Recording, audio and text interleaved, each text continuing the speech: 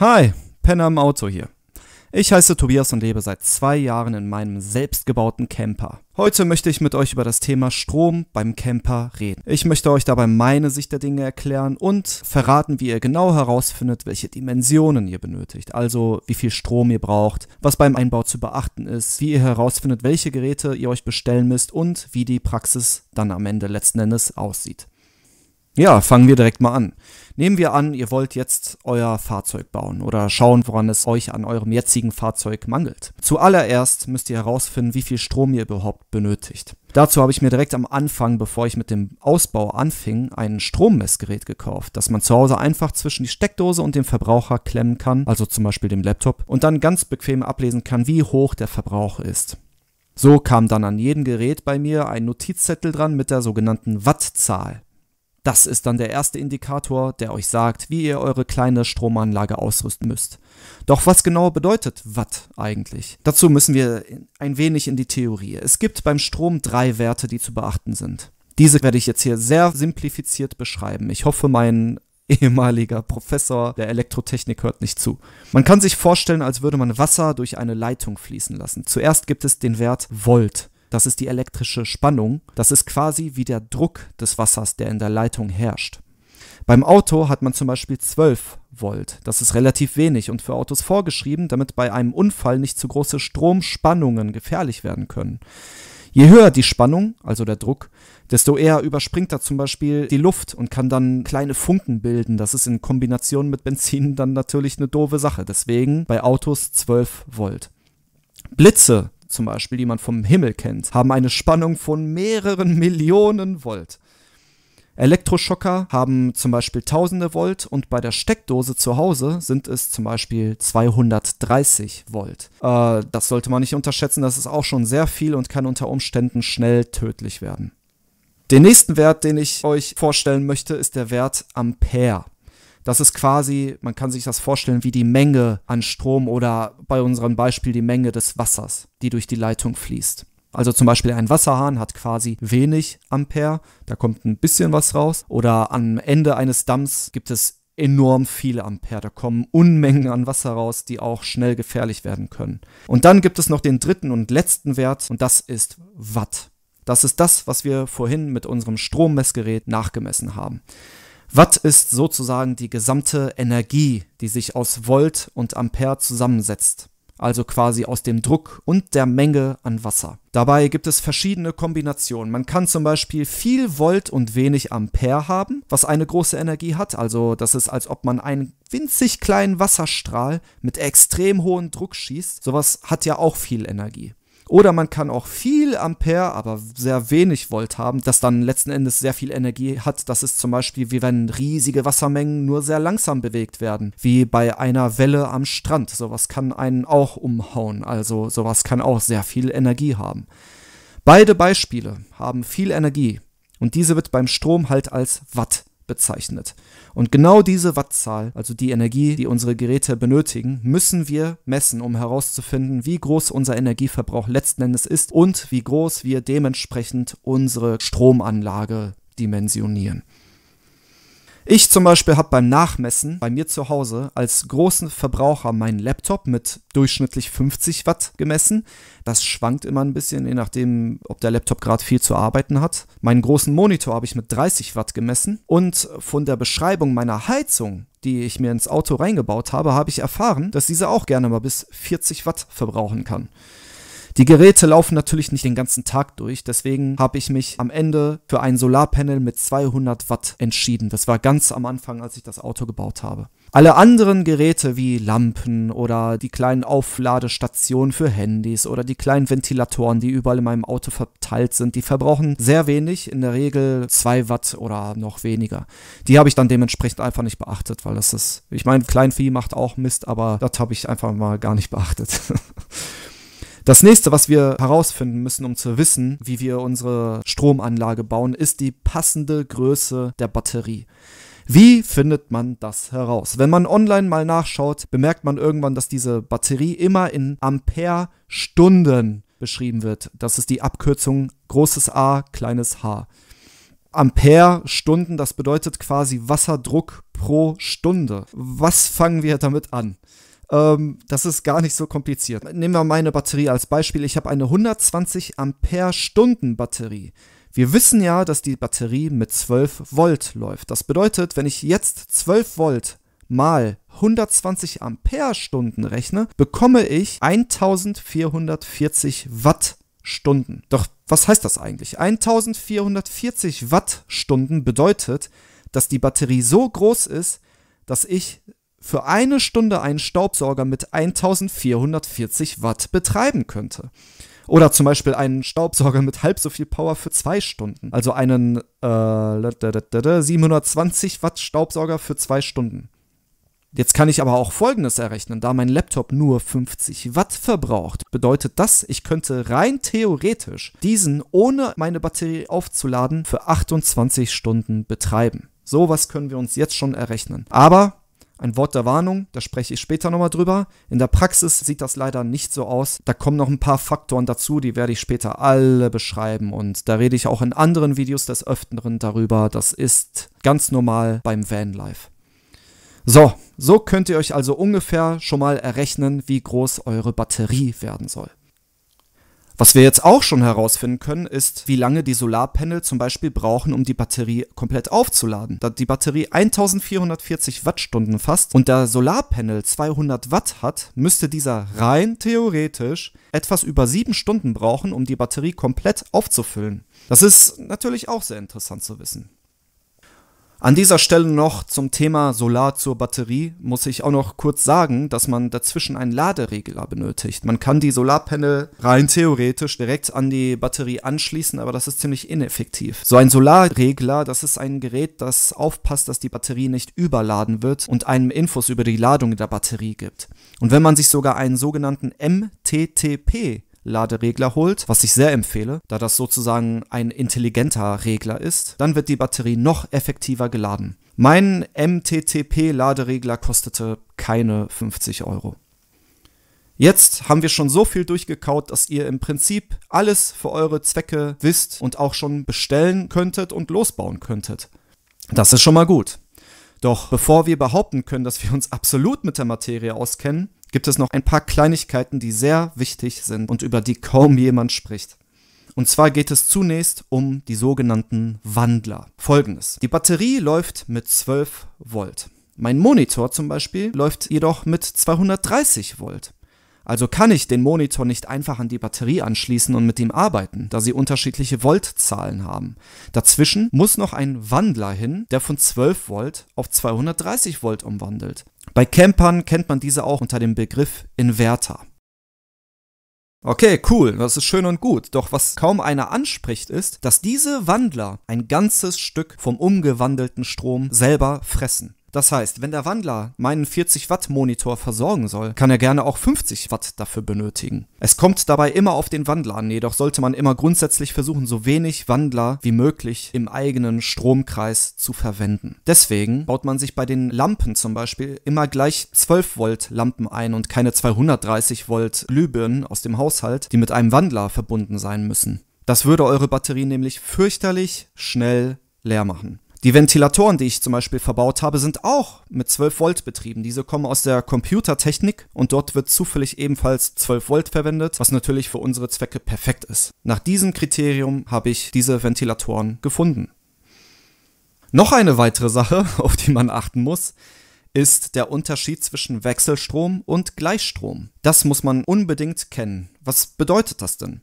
Der Strom, der aus der Steckdose von zu Hause herauskommt, wechselt ständig seine Richtung. Er wird in Kraftwerken mit großen Generatoren produziert, die die technische Eigenschaft haben, dass der Strom immer hin und her geschoben wird. Also Plus und Minus, wie bei der Batterie, gibt es hier nicht. Deswegen ist es auch egal, wie rum man zum Beispiel den Stecker in die Steckdose steckt. Oder vielleicht hast du mal davon gehört, dass der Strom mit 50 Hertz aus der Steckdose kommt. Das hat ebenfalls damit zu tun. Das nennt man nämlich Wechselstrom. Bei Batterien jedoch ist das nicht so. Da fließt der Strom kontinuierlich in eine Richtung. Das nennt man dann Gleichstrom. Und das ist quasi eine komplett andere Technik. Man kann keine Gleichstromgeräte mit Wechselstrom betreiben. Der Inverter oder der Wandler, der von 12 Volt zu 230 Volt umwandelt, den wir vorhin angesprochen haben, der macht das zum Beispiel automatisch, dass er neben der Voltänderung ebenfalls 12 Volt Gleichstrom auch zu 230 Volt Wechselstrom umändert, damit man halt die Wechselstromgeräte, die man zu Hause immer betreibt, auch dort betreiben kann. Okay, das war jetzt alles ganz viel fürchterliche Theorie. Doch das alles ist essentiell, um sich auszukennen und sicher zu sein, was man benötigt und wie das alles so funktioniert und was das alles eigentlich bedeutet. Und auch abgesehen vom Camperbau ist es sehr nützlich. Jetzt könnt ihr zum Beispiel für den Rest eures Lebens herausfinden, wie viel Stromgeräte verbrauchen, wie gefährlich sie sein können oder welche Geräte miteinander verbunden werden können. So, aber kommen wir jetzt endlich zur Praxis. Denn die ganzen Zahlen sind im Idealzustand schön und gut. Doch für gewöhnlich befindet man sich nie im Idealzustand. Besonders nicht da draußen. Es scheint zum Beispiel nicht dauerhaft die Sonne und auch die Batterie neigt dazu, mit der Zeit an Kapazität oder an Kraft zu verlieren oder in gewissen Umständen nicht richtig zu funktionieren. Und mit zwei Jahren Erfahrung kann ich euch alles darüber berichten, sodass ihr ganz genau wisst, worauf ihr euch einlasst, wenn ihr euch eure Anlage holt. Fangen wir an mit den Solarpanelen. Wie gesagt, scheint nicht immer die Sonne. Für mich hat das Gefühl zur Ursache, dass das volle Aufladen der Batterien nicht sieben Stunden dauert, sondern eher doppelt so lange. Auch spielt hierbei der Winkel der Sonneneinstrahlung eine Rolle. Ich habe Camper gesehen, die haben eine Neigevorrichtung, womit sie die Solarpanel schön in Richtung Sonne neigen können. Das ist auch der Grund, warum Solarpanel auf Häusern zum Beispiel immer schräg sind. Doch wegen meines Stealth-Campers konnte ich das natürlich nicht machen. Das wäre viel zu auffällig. So musste ich nach einem Jahr die Solarpanel mit zwei weiteren bestücken und habe sie von 200 Watt auf insgesamt 500 Watt erhöht. Jetzt ist die Batterie fast nie unter 50 Prozent. Das ist eine Sache, die erfährt man erst, wenn man selber so eine Anlage hat. Und auch die Batterie an sich hat sich verändert. Es gibt unterschiedliche Arten von Batterien. Man sollte darauf achten, dass man sich auf jeden Fall eine Solarbatterie holt und nicht zum Beispiel eine normale 12 Volt Autobatterie. Autobatterien haben nochmal in sich eine andere Technik und eignen sich nicht zum Betrieb von normalen Geräten, wie es die Solarbatterien können. Darunter gibt es noch viele verschiedene Techniken wie Bleibatterien, Bleigel-Batterien und Lithiumbatterien. Pure Bleibatterien solltet ihr gar nicht holen, die sind veraltet und ich verstehe nicht, warum diese immer noch auf dem Markt erhältlich sind. Bleigel-Batterien jedoch sind quasi die normalen Batterien. Solch eine habe ich mir auch zugelegt. Dann gibt es noch die Lithium-Batterien. Das sind definitiv die besten, die man sich holen kann. Diese kosten jedoch auch mehr als das Dreifache, glaube ich. Also wenn ich mir die 120 Ampere-Stunden als Lithium geholt hätte, ich glaube, da wäre ich bei 600 bis 800 dabei gewesen. Und meine 120 Ampere-Stunden habe ich mir für, glaube ich, auch 120 Euro gekauft. So, jetzt zu meiner Erfahrung mit meiner Bleigel-Batterie. Das erste, was ich bemerkt habe, ist, dass die Leistung bei Kälte deutlich spürbar fällt. Wenn die Temperatur gegen 0 Grad geht, hält sie einfach nicht mehr so lange und es ist für sie auch schwieriger, Strom aufzunehmen. Das ist normal bei denen. Da sind die Lithiumbatterien zum Beispiel deutlich besser drin. Es gibt manche, die isolieren die Batterien noch mit dem Armaflex, also versuchen sie vor die Kälte zu schützen. Rein theoretisch sollte das auch funktionieren, da die Batterie selber beim Betrieb auch ein kleines bisschen Wärme generiert und so würde man rein theoretisch die Batterie ein wenig warm halten. Ich selber habe das aber nicht getestet, da ich auch so gut klar kam und mir nach Auseinandersetzung des Themas nicht vorstellen konnte, dass das allzu viel bringt. Aber ich werde das auf jeden Fall nochmal testen. Nächstes Jahr wollte ich mir neue Batterien holen, dann gleich zwei Stück und da werde ich das mal probieren mit der Isolierung. Ja, und so achte ich dann einfach momentan immer darauf, dass die Batterie halt weniger Speicher hat, wenn es mal kalt wird. Das lässt sich so auch ganz okay ertragen. Doch das größte Problem, das ich bisher bemerkt hatte, war, als ich bei schlechtem Wetter oft am Laptop saß und die Batterie im leeren Bereich beansprucht wurde. Batterien sollte man möglichst nicht so in dem leeren Bereich nutzen, da dies ein empfindlicher Zustand für sie ist. Ich weiß noch, da war ich an der Nordsee und habe zwei Tage am Stück am Laptop gearbeitet, weil es draußen geregnet hatte. Und da hatte ich mich noch super gewundert, wie viel die Batterie aushält. Solche Bleigel-Batterien halten auch im entladenen Zustand mehr aus. Doch danach musste ich feststellen, dass die nicht mehr dieselbe Kapazität hat. Die hat halt davon echt einen weggetragen. Und um daraufhin seltener Gefahr zu laufen, sie in diesem leeren Bereich betreiben zu müssen, habe ich mir vor meiner Schwedenreise die zusätzlichen Solarpanel installiert. Seither kann ich wieder sorglos mit Strom umgehen, da sie sich schneller auflädt und halt eben nicht mehr so oft im leeren Bereich ist. Was dabei auch hilft ist und was auch automatisch kommt mit der Zeit, ist, dass man sich einfach daran gewöhnt, den Stromverbrauch bei fehlender Sonne ein wenig einzuschränken.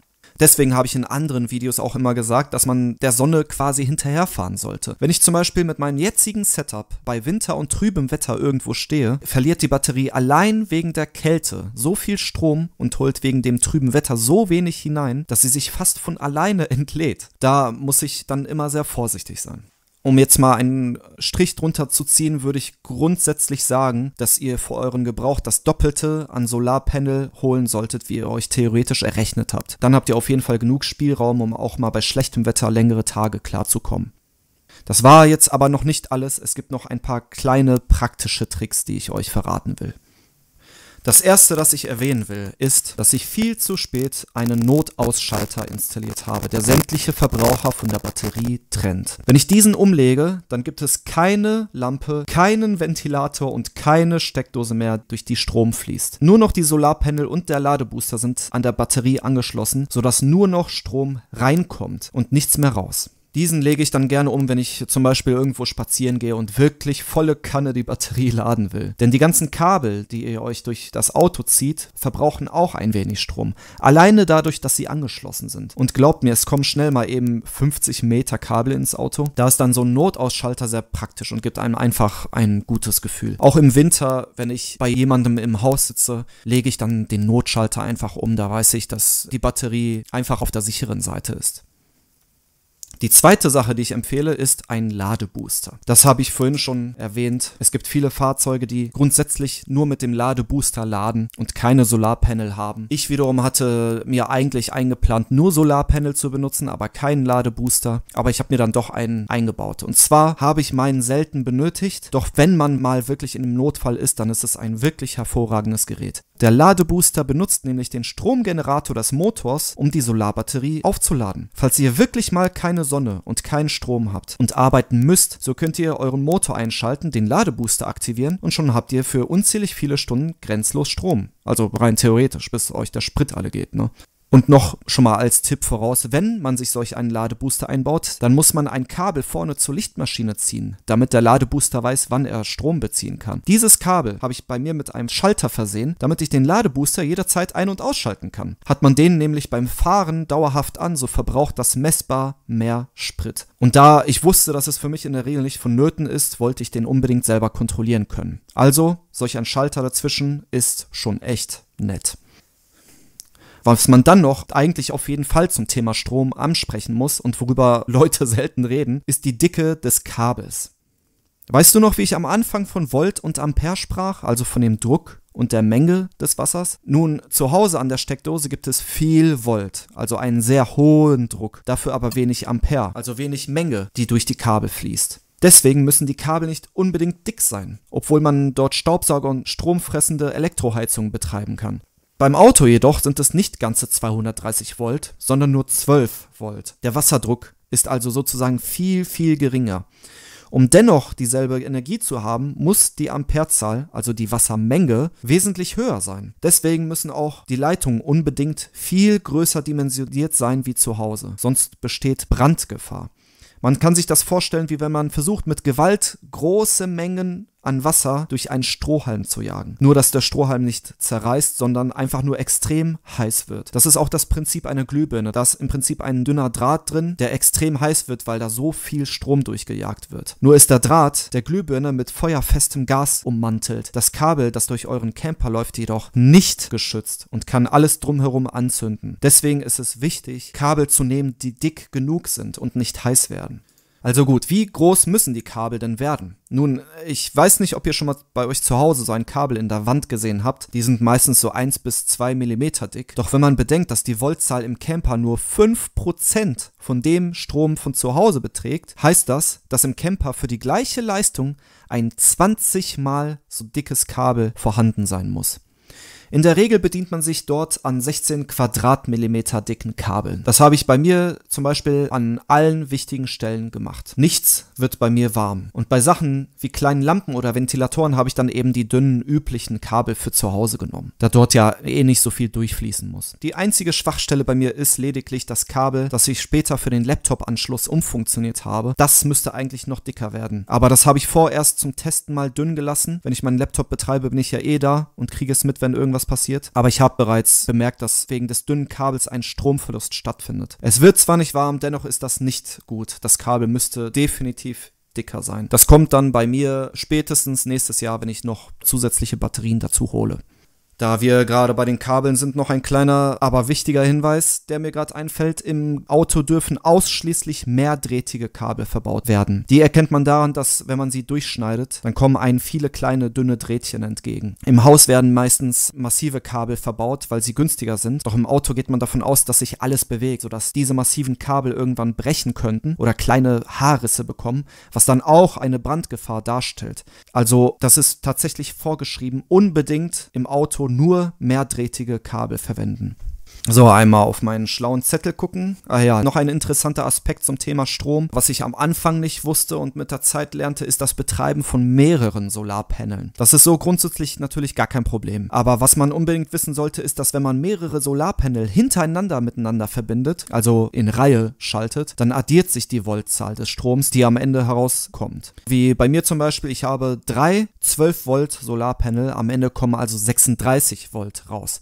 Da muss man dann am Ende darauf achten, dass der Laderegler für diese Voltzahl auch ausgelegt ist. Doch die meisten Laderegler können eine ganze Bandbreite von Spannungen aushalten, zum Beispiel 12 bis 60 Volt oder sowas. Aber worauf ich eigentlich hinaus wollte, ist, wenn ihr mehrere Solarpanel benutzt, solltet ihr die immer in Reihe schalten. Denn je nachdem, wie viel Schatten ihr auf den einzelnen Paneelen vorfindet, könnte jeder Solarpanel eine andere Voltzahl an den Laderegler weitergeben. Wenn ihr in dem Fall die Paneele parallel geschaltet habt, wird der Laderegler sich nur auf den Panel mit der höchsten Voltzahl konzentrieren. Die anderen Paneele werden quasi ignoriert. Also kriegt ihr dann auch nur viel weniger Strom in eure Batterie rein. Also immer schön in Reihe schalten. Das ist viel, viel besser. Ja, und das war es eigentlich so ziemlich. Es gibt äh, zwar noch viele andere Mini-Tipps, aber das kommt immer auf den Einzelfall an, ob das jetzt nützlich ist oder nicht. Mit dem Wissen, das hier übermittelt wurde, findet man die Tipps dann aber in der Regel auch selber raus. Ich zum Beispiel habe ein Ladegerät für meinen Laptop, der mit 12 Volt betrieben wird. Der ist extra für diese Auto-Steckdose gemacht worden. Damit spare ich mir zum Beispiel den Inverter mittendrin. Oder wie ich in einem meiner Videos bereits erwähnt hatte, habe ich eine Lampe direkt an die Solarpanel angeschlossen, damit ich morgens langsam von der Lampe geweckt werde, die zeitgleich mit dem Sonnenaufgang hell wird. Oder noch eine sehr coole Sache ist, ich habe irgendwann rausgefunden, dass ich einen Router habe, der ebenfalls mit 12 Volt Gleichstrom betrieben wird und der hat äh, so einen Antennenanschluss, sodass ich ganz leicht eine super stabile Internetverbindung für mein Auto installieren konnte. Das sind alles solche kleinen kreativen Kleinigkeiten. Wie gesagt, wenn ihr euch mit dem Thema richtig auskennt, dann fallen euch solche Sachen halt schnell auf. Wie gesagt, das kommt immer dann auf den einzelnen Spezialfall an. Es gibt garantiert viele Sachen, die ich nicht kenne. Falls du jetzt schon so eine Idee hast oder irgendwelche Fragen hast, dann schreib's mir in die Kommentare. Ich lese alles gerne durch und versuche allen zu helfen. Ich wäre auch sehr interessiert daran, wenn dir irgendetwas eingefallen ist, was ich bisher noch nicht gesehen habe. Ansonsten würde ich sagen, wünsche ich dir viel Spaß beim Ausbau bzw. auf deinen Reisen. Ich hoffe, dir hat das Video gefallen und man sieht sich vielleicht unterwegs. Ciao!